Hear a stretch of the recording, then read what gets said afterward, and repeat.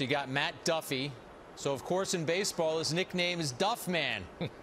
and on The Simpsons, Duffman is the mascot, spokesman for Duff Beer. How about that utility belt? It's got a couple of uh, beers on the utility belt, and that's on the knob of Matt Duffy's bats.